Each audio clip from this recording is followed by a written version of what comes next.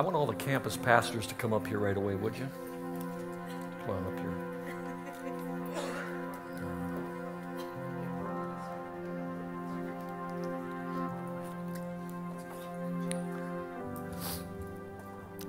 So, Jim has already shared with you the results of the weekend. And uh, first of all, I want to thank all of you that are prayer warriors.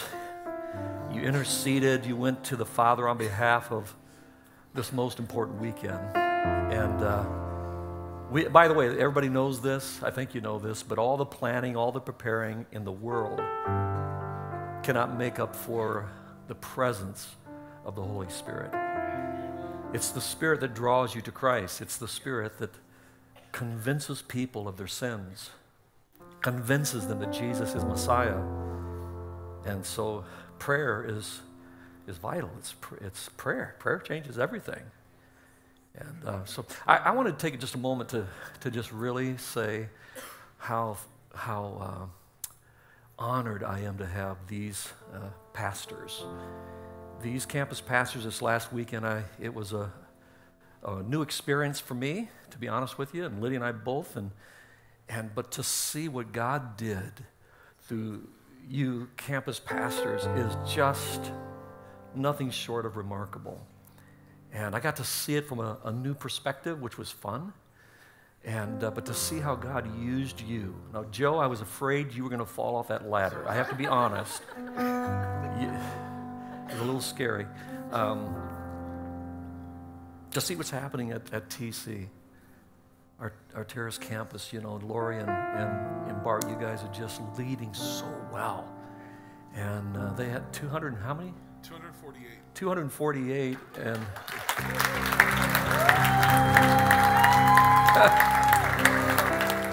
and I mean, if you walk into that campus, it is just like it's just so good and it's it's so good. And uh, Bart obviously brings some energy with him. Uh, Jim and Camilla at this campus, I watched you Sunday, and of course, there's a personal thing with me because you know I, am dad, pops. But uh, to watch you guys operate in your calling and gifting and anointing, good night. It was just, I snuck in at the 1030 service way back there, and I popped in from somewhere. I don't know where I was at, but anyways, I went to the Spanish campus. And then I popped in here, stood in the back, and this place was just jammed. Out there, they had like, I don't know, 70, 80 people, and it was full.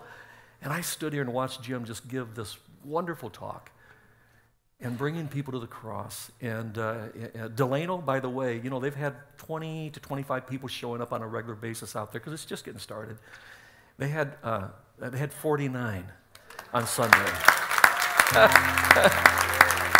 and to see what God's doing, I just wanted to say to all the, and, and, Pastor Hector and Gladys, they had just a full house over at the Spanish uh, campus with uh, Terrace campus. And then and then here, Eric, gosh, I don't know how many, 603 show up in our Spanish campus here at the Southwest.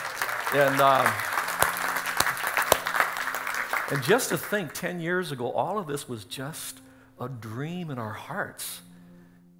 And, and, and what we said was, lost people matter to God. And we were doing four services and maxing out everything. We had a facility paid for, debt free. I was killing myself. Thank you, Lydia. Thank you. Ushers, ushers, there's somebody down front you need to pay attention to. But the Lord said to us a very clear word that as long as there's one lost person in Kern County, we cannot stop growing. Because it's not about numbers, it's about souls. It's about heaven and hell. It really is about changed lives, but changed eternities. And so, you know, all of a sudden we have this vision of multiplication. And now, Sunday, we had six pastors joining with me and sharing the good news. Instead of one guy leading a single campus, we had six different pastors leading six different campuses. And oh, by the way, fast forward from 10 years ago to now, and we're looking at about 2,500 more people showed up this Sunday versus 10 years ago. and more people getting saved, lives changed. So I, I just want to honor you guys and thank you. Um, I want to thank all of your people who work with you. Because here's the truth as great as they are, they know this too. They're not that good. They're great, but they're not that good. they have to have, I know they do, because I, I do. I'm Mr. Magoo. I have to have a lot of people around me helping me. And all of you volunteers, you servant leaders of our church, uh, you served this last weekend, I want you to stand up right now, please. Don't be afraid. Don't be embarrassed. Just please, if you served this last weekend in any capacity, I want you to stand up. Stand up. Stand up. Stand up. Come on, I want you to honor the heroes.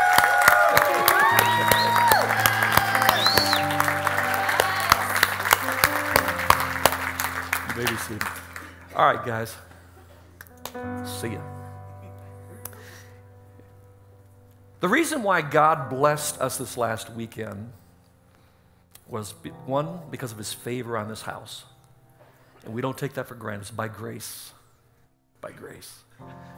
Um, it's because of the power of the presence of the Holy Spirit. But it's also because, and this is what I want to talk to you about for a few minutes this evening. It's about how God uses flawed people. God doesn't use perfect people. Is that good news? Look to the friend, friend beside you, even if you don't know them, tell them, say, That's good news because you're not perfect. That's good news because you're not perfect. You may think you are, but you're not perfect.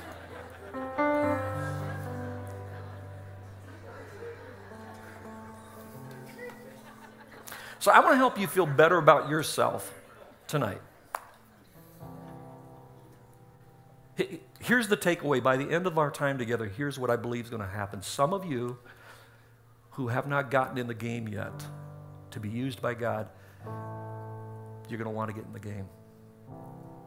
Some of you that have been serving and you know you're, you're, leading in some capacity, but there's just this limit because you think I got to get this act together before God can really use me. When I get it all together, then God can use me.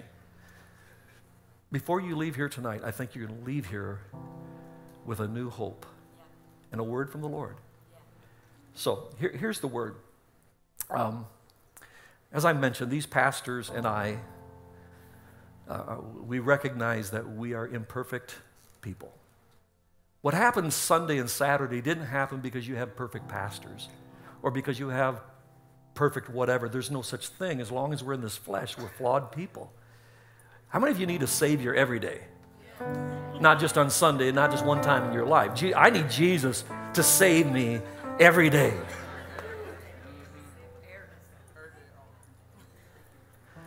So, I think of what God's done in 30 years.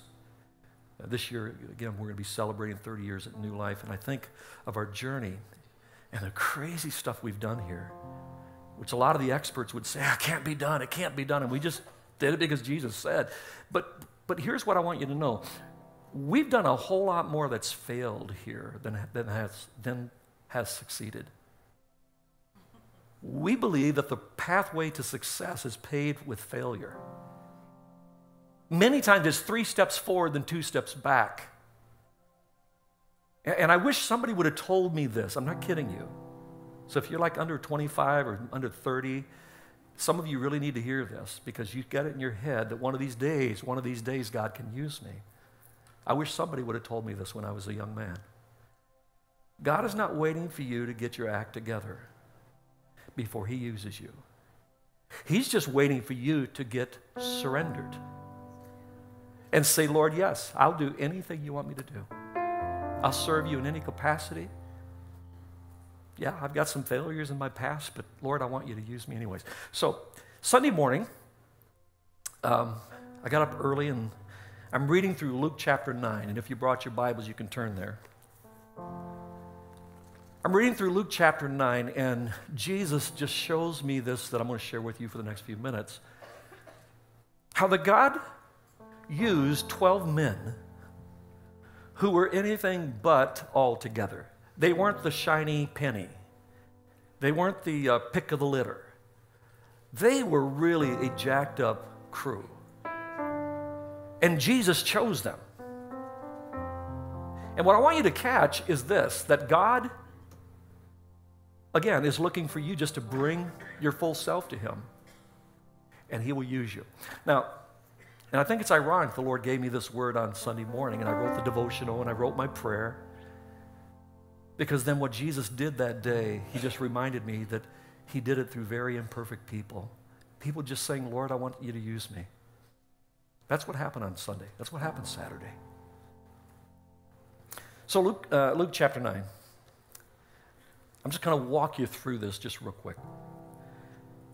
Jesus is sending out his 12. Now, who are the 12? The 12 were the foundation of the early church.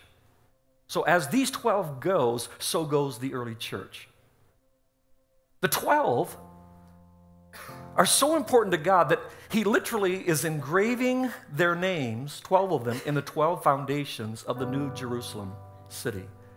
The heavenly city that will, we will live in forever and ever and ever, right? That city, there's 12 foundations, and one name for each apostle is written, engraved forever.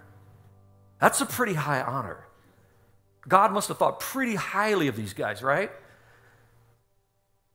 They, they must be really together, right? So, here, let me just, I'm to walk you through this. They start off good. Verse 1. When Jesus had called the 12 together, he gave them power and authority to drive out all demons and cure diseases, and he sent them out to preach the kingdom of God and to heal the sick. And then it says later in that passage, that's what they did. They went out there and they're healing the sick and they're casting out demons and they're, they're, they're, they're just making an impact in all of that region. Starting off good, right? Good day. But then, the very next part of this, Jesus is feeding uh, excuse me, he's preaching to, to thousands of people and they're hungry. And, and the disciples said, Watch what they say. You ready for this? The same ones who were driving out demons and healing the sick and all full of faith a few days before this. Now they're saying, Jesus, send them away because we don't have enough food for them to eat. So, so just send them away. Wow. And Jesus turns around and he says to them, verse 13, he replied, You give them something to eat. These guys become so small minded and self absorbed that they are now just, you just, uh, we don't want to take care of them. And yet Jesus says, okay, and in fact, they say, no, well, we just have a few fish and a few barley loaves. And, and Jesus, okay, just bring them here and shut up. And he blesses it, breaks it, it. He feeds all the people, right? And I know by this time, Jesus got to be going, oh my gosh, you know, like parents do with kids at, on some days. What am I going to do with these guys? They're driving me crazy. But then a good day happens because in the next section, Jesus is asking them, Who do men say that I am? Oh, some say you're Elijah, some say you're John the Baptist. But then, then Jesus said, But who do you say that I am? Peter answered, The Christ. God. Christ means anointed one. The anointed one. You are the anointed one of God. And Jesus said, Hey, you know, flesh and blood didn't reveal that to you. That was, that was from heaven. Good job, Peter.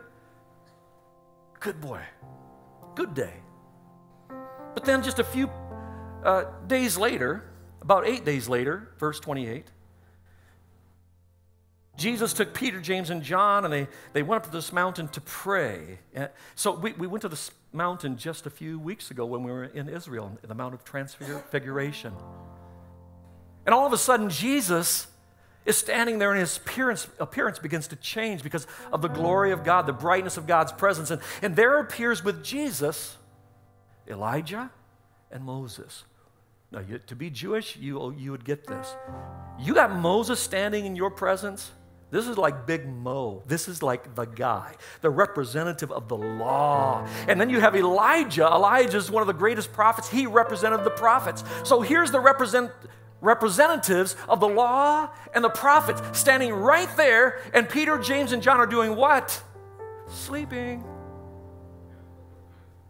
They had this nasty habit of falling to sleep on Jesus when he needed him the most. He needed them the most. So he, you know, the guys wake up and they look and there's Jesus standing with, with Elijah and Moses, and they're like, oh my gosh, What a moment, right? Verse 33 As the men were leaving Jesus, Peter said to him, Master, it is good for us to be here. Let us put three shelters one for you, one for Moses, and one for Elijah. In other words, we're going to worship all three of you. Oh, Peter. And I love this next phrase. After he said that, he says, He did not know what he was saying. Duh. Peter was always sticking his foot in his mouth. Here was going to be the first leader of the church, the main dude that's going to lead the church, right? And what is he doing? He's always opening his mouth, inserting foot. Now, don't raise your hand, but any of you here relate to Peter. God can't use me because, man, you, not, you will not believe the stuff I say. When it says he didn't know what he was saying, yep, I can relate to that, James. God couldn't use me because, you know, I just, I just say dumb things. So, Father God wants to get their attention when Pete's saying, Hey, let's just have three tabernacles and worship. A voice came from the cloud saying, This is my son, whom I have chosen. Listen to him. Don't you be worshiping Elijah. Don't you be worshiping Moses. Oh, by the way, don't you be worshiping Pastor James or Pastor Jim or Pastor Joe or anybody else. Why? Because we're just like you.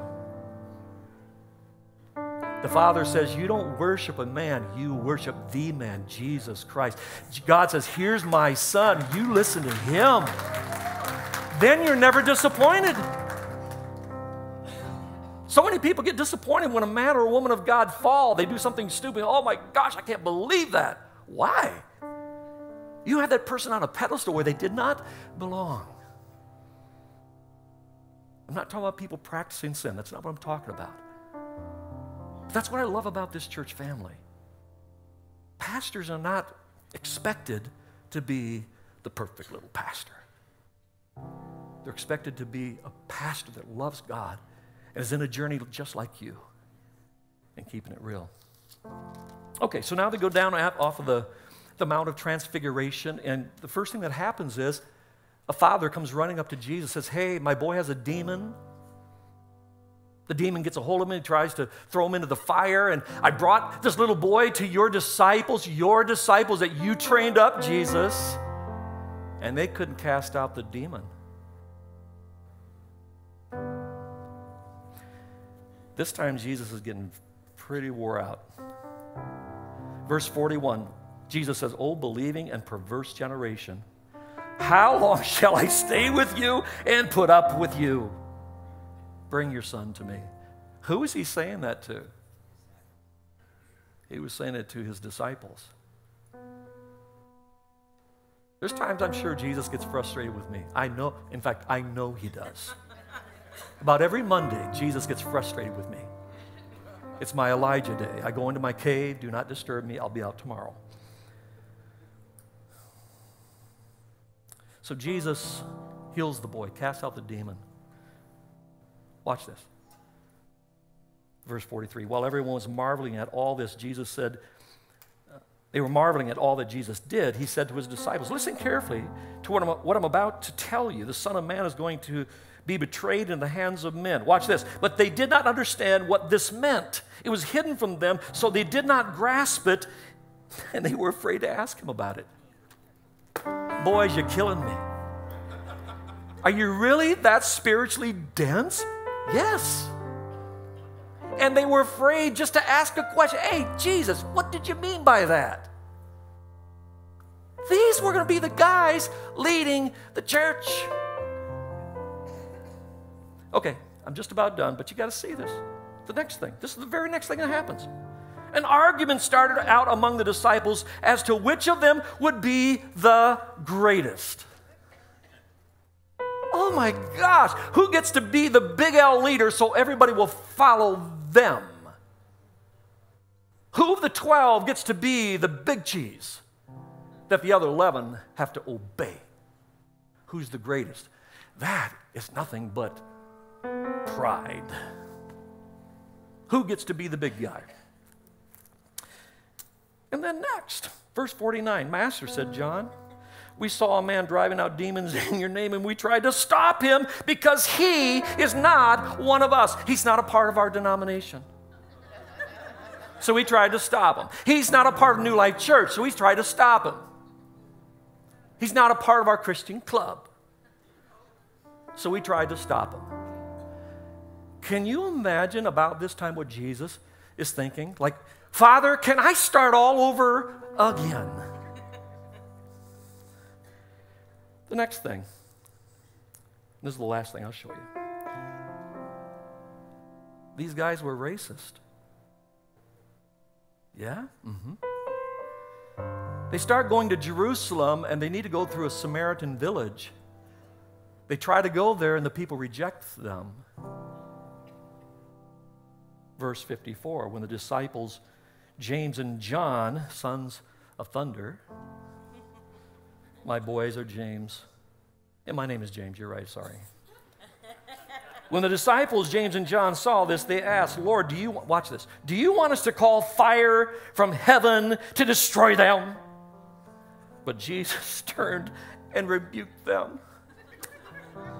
I think about this time, Jesus is, you know, can I get a Xanax or something? I mean, I, these guys are driving me crazy. Did you hear what they just said? They said, because they are Samaritans, they're not of our kind. We're talking about ethnicity because the Samaritans were part Jewish, but they're part something else, so therefore they're not one of our kind. And James and John, the sons of thunder, say, Lord, can we just call fire out of the sky and scorch them? Okay, now here's, here's where I want you to now insert yourself. Most of you here aren't as bad as they were. True? I mean, that's just one chapter, guys. I can give you more. But here's what I want you to catch Jesus spent three years investing in these 12 men. One turned out to be a devil, and they had to replace him with Matthias. After Jesus spent three years with them. But at the end of this journey, Jesus said, You guys tag, you're it. I'm leaving. And you're going to be, begin this new thing called the way, the church, the called out ones. And they were baptized with the Holy Spirit.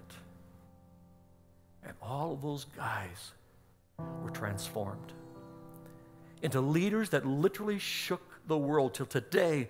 There are over 2 billion Christ followers on this planet right now and it began with 12 knuckleheads. I, I want you to get this because I felt it deep in my heart. I, I, I don't know how to convey it to you any deeper than I am right now. So may the Holy Spirit make up the difference. I really feel that tonight is a call to us to recommit ourselves to serving Jesus in His church, His causes in the earth. It may be here on a campus somewhere, it, may be out in the community. But I feel like there's some of you here tonight that's a recommitment to saying yes to Jesus with the rest of your life on earth, to serve Him. For some of you, I, I, I feel this strongly. That's why the Lord gave me this word. But He's saying to you, you've, you, have you have just kind of sat on the back burner and, and you just had it in your heart, I can't really be used by God because of my limitations, my weaknesses, my, my past, or, or, you know, I'm not as skilled or I'm not as whatever. You know, I don't talk good. Remember Peter, Mr. Foot and Mouth. And for those of you that are feeling in your heart tonight this, this burning to say yes to this call of Jesus to you, to his church, to be used by Him, to, to use all of your life, I'm going to ask you, I'm going to challenge you to move in response. We were singing it earlier. I, I hear, what's, no, no, no, that before about the army rising up.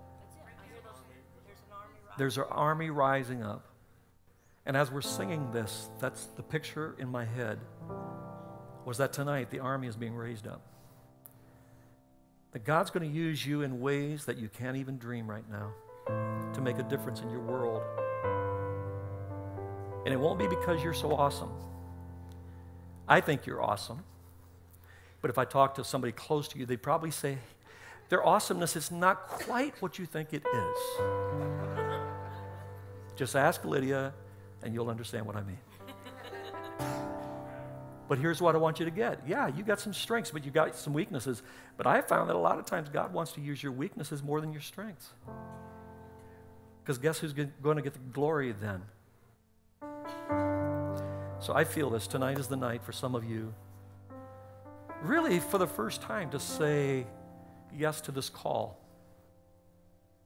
And, and I'm going to ask you right now, those of you that, there's going to be two groups I'm going to pray with. But for those of you, maybe for the first time, you've really, you're ready to step out and say, God, use me, use me. Use me whatever way you want in my life. Take my life, all of it. My past, present, future, all of it, Lord, and use it for your glory, whatever that means.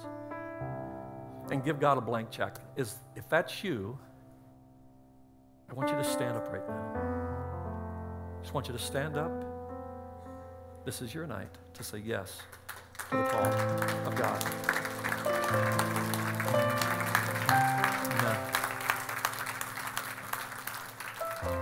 This is a special moment for you. I grew up with this, this teaching. In fact, I was telling Jim, I wish I could sing one of those old songs to you that we used to sing. Lord, t- take my life, all of me. And as a little boy, I was singing those songs to God. God, take me, use me, mold me, make me, shape me. As a, as a young boy who stuttered when he talked, I was didn't like crowds. Yet I just said, Lord, use me. And at 17 years old, 40 years ago this month, I said yes to a call. And I'm not saying you're going to be a pastor or preacher, so don't let me freak you out but you might be. Let's bow our heads. Spirit of Jesus. Fill this room, fill our hearts. Holy Spirit, come now and ignite holy passion within the hearts of those that are standing right now and a belief that they can be used by you to bring healing to broken hearts, to those that have wandered away from Father's house, to those who are struggling in their faith, to whatever that may be for them. I pray that your spirit right now would just ignite that passion to be used by you. And I want you, all of you that are standing to say this from your heart. Just say, Jesus, I'm saying yes to you tonight. Yes to your plans yes to your purposes. Use me.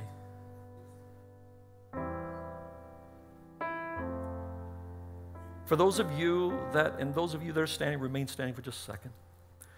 For those of you that tonight this ignited something in you to move to a new level of serving God, of being used in your giftedness. maybe for some of you, it's this word of, you know, you don't have to get good enough in order to be used by God. But tonight's your recommitment, a, re, a recommitment to saying yes to Jesus, to serve Him with the days that you have on earth and whatever His plans are. That is you. I want you to stand right now, and I want to pray with you. We're going to join our hearts together. Stand up.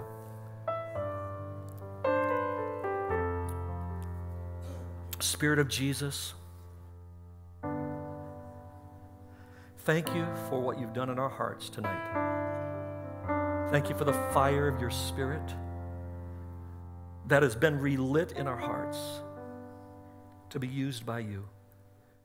Father, I pray for those that are standing right now that are saying, I'm recommitting myself to God's plans and purposes. I, God, I want to be used by you. No matter what my weaknesses or my flaws are, I want to be used by you. Father, I pray that right now something will be released of heaven in their soul. Come, Holy Spirit. And from this group, there will be raised up prophetic voices. There will be missionaries across town, but maybe across the world. There will be people that are willing to go into a prison or, or will go to the hospital and visit the sick or whatever it may be. We're just saying, Yes, Lord, use me. Use me. I want you to tell the Lord in your own words now. I want you to say, Yes, Lord. Yes, Lord, I want to be used by you. God, I want to be your hand extended to the world.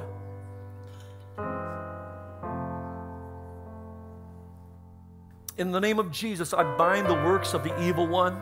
I come against the lies of the devil that would tell some people here, because of their flaws or their weaknesses or their propensities, that they cannot be used by you. Father, would you come now and break off those chains? Break off those chains now, those lies, and may it be replaced by the truth that God, you use people that are surrendered to you people that love you and just want to be used by you. Father, break us free from any limitations that keep us stuck. In Jesus' name, release it now. Let's all stand up all over the room, please.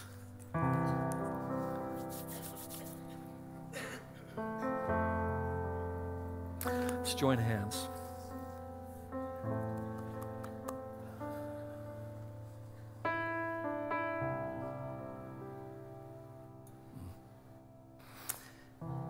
Everybody, look up here just one second. I want to just talk to you for a second. God says to you tonight, your father, your Abba, your Papa says to you tonight, I love you. I'm crazy about you. And I don't use you and use your life because you're trying to achieve my good pleasure or my approval. I, I use you because I delight over you I love you. And as long as you're on this earth, whether you've got another day to live you've got another 50 years to live on this planet, God says there's breath in your body. There's breath in your lungs right now. And as long as you have life, God says, your Creator says, I put you on earth for a purpose. And like it says of David, it says, and David served his generation, then he died. Listen up. God's calling you to serve your generation. When your day's done, it's done. You go home to be with God, and listen, we're going to party. Big party. But between now and then, we got some work to do.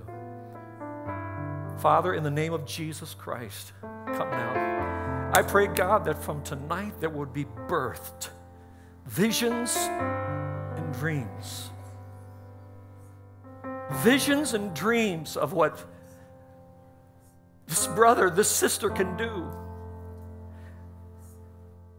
That tonight the glass ceiling is being shattered in Jesus' name. That glass ceiling is being shattered right now. Lord, I pray that your sons and your daughters will believe with all their being that God, you put me on earth, you created me. You created me just the way that I am so that I can make a difference in my world. So, God, right now, right now, just breathe fresh on us. Fill us anew with the Holy Spirit. You said that in the last days, you would pour out your Spirit on all flesh, and your sons and daughters are going to prophesy. Both the men and the women will speak the word of the Lord. Old men would dream dreams, and young men would have visions. Father, I pray that right now there would be a release of visions and dreams and prophetic insight.